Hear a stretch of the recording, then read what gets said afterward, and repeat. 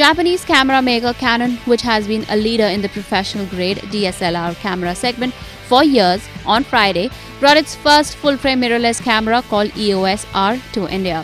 The 30.3 megapixel EOS R camera will cost rupees 1,89,950 and with the EOS R kit that has RF24 205mm f4L IS USM lens, the price will be rupees 2,78,945. The sale of the camera will start in mid-October. The EOS R features an electronic viewfinder. The camera is equipped with features like advanced dual pixel CMOS AF, Digic 8 imaging processor, high density AF points positions, multifunction slider bar, flexible AE mode, and high speed data communication RF mount. With the new EOS R, four types of RF mount adapters have been introduced to complete the EOS R ecosystem.